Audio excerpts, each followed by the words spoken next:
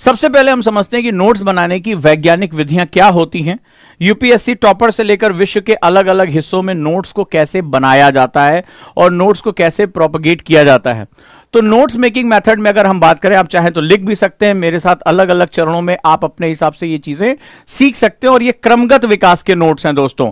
तो लिखिए, notes making methods में अगर हम लोग नोट्स बनाने के तरीकों की बात करें तो जो ये स्मार्ट नोट्स हैं, ये वो परंपरागत नोट्स नहीं है जो कोचिंगों में आपको दिए जाते हैं। भारी भरकम पीडीएफ दिए जाते हैं, घंटों आपको लिखाया जाता है, लिखो। अब ये फलाना, ढिकाना पृथ्वी, ऐसी है पृथ्वी, वैसी और आप जो है, वो लिख कर लाते हैं, फिर घर जाकर उसको हाईलाइट करते हैं, फिर दोबारा किसी और कॉपी में नोट्स बनाते हैं। हम यहाँ बात कर रहे हैं स्मार्ट मैथड्स की। हम बात कर रहे हैं क्विक टाइम में टीचर बोलता जा रहा और मेरे स्मार्ट नोट्स रेडी होते चले जा रहे और मेरे नोट्स जैसे ओजांकियंस की जानते हैं, आप बात मैंने फ़ोटो भी शेयर की थी कि मेरी क्लास में मेरे बच्चों के जो नोट्स होते हैं, वो कॉपियों में नहीं होते हैं, दीवारों पे होते हैं ताकि हर समय वो उसको रिवाइज कर सके, उसमें जो है वो कुछ एड ऑन कर सके। तो लेट्स स्टार्ट इट हम लोग शुरू करते हैं इसको।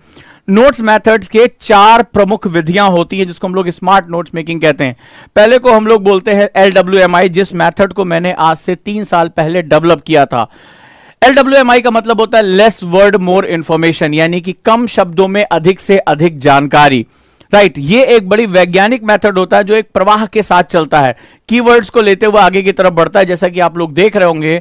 जो ईडब्ल्यू e बैच है मैं उसमें जो नोट्स दे रहा हूँ इस समय ज्योग्राफी के वो L W M I batch L W I method पे ही मैं पूरी पूरी क्लास लेता हूँ जिसको भी मेरे बारे में या मेरी टीचिंग के बारे में पता होगा।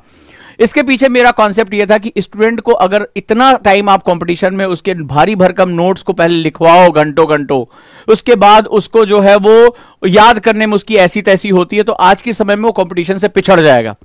आज वो वक्त नहीं है कि कुछ हज़ार, दो हज़ार या बीस हज़ार, पचास हज़ार, लाख लोग एग्ज़ाम दे रहे हैं। आज एक एक एग्ज़ाम के लिए लाखों लाखों की भीड़ है, एक एक सीट पर इतना कंपटीशन है और इसमें अगर हम स्मार्ट नहीं बन पाते हैं, अगर हम अपने आप को टू द पॉइंट लेकर नहीं चलते हैं तो ये हमारे लिए बहुत हार्म क्रिएट जो है वो करेगा। बहुत ज़्यादा जो है वो हमें नुकसान पहुंचाएगा।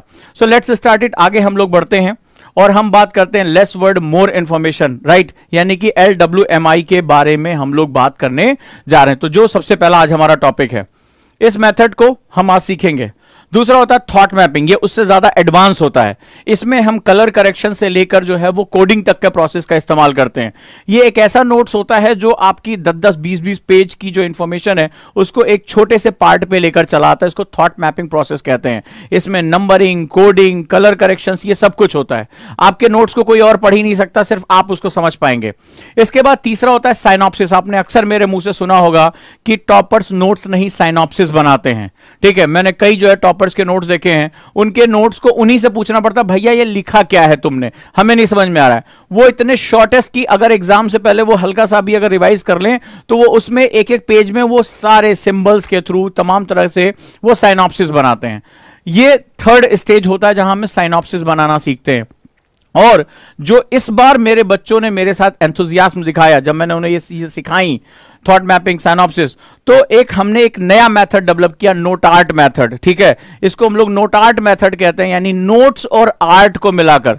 नोट्स बनाना बोरिंग नहीं नोट्स बनाना रुचिकर बच्चों ने कहा, सर, इतना मज़ा आ रहा है नोट्स बनाने में कि मतलब पहली बार ऐसा लग रहा है कि हम किसी बोरिंग काम को करने के बजाय बहुत इंटरेस्टिंग वर्क को कर रहे हैं। तो जो फाइनल स्टेज होती है, वहाँ नोट आर्ट होता है। आप खाली बैठे हैं, आप स्ट्रेस में हैं, आप नोट आर्ट बनाना शुरू किया। आपका नोट्स भी बन रहा है और आप जो है वो अपनी हॉबी को भी डेवलप करते चले जा रहे हैं। This is known as note art method ये हमारा नोट आर्ट मैथड कहलाता है। तो ये चार स्मार्ट मेथड्स होते हैं दुनिया में नोट्स बनाने के। चलिए दोस्तों अब हम आज अपने टॉपिक को समझते हैं। हमारा आज का टॉपिक क्या है? राइट right, सबसे पहले मैं बात करूँगा जैसे एक छोटी सी बात बड़े ध्यान से सुनिएगा। हम सभी जानते हैं कि स्मार्ट नोट्स बनाना चाहिए। एग्री करते हैं? आप यस नो मुझे बताते रहिए। यस सर हमसे कहा गया है कि स्मार्ट नोट्स बनाने चाहिए। और स्मार्ट नोट्स बहुत ज़रूरी होते हैं।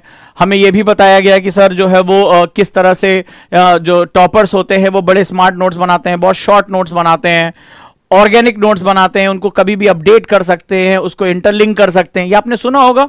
यस नो कुछ बताइए मुझे। हाँ कभी नहीं सुना। हाँ सुना है सर कि टॉपर जो है अलग तरीके से नोट्स बनाते हैं। हमारे स्कूल कॉलेज में अलग तरीके से हमें सिखाते हैं। राइट